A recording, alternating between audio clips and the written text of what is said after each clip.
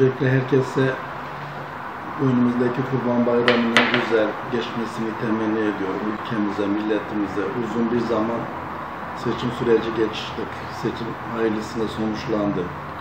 Yeniden e, seçilmiş olan başta Cumhurbaşkanımıza, yeni kabinemize, ülkemize, milletimize hayırlı uğurlu olsun. Buradaki Bursa'daki tüm hemşehrilerimin Kurban Bayramı'nı tebrik ediyorum. Nice bayramlar diliyorum. Teşekkür ederim.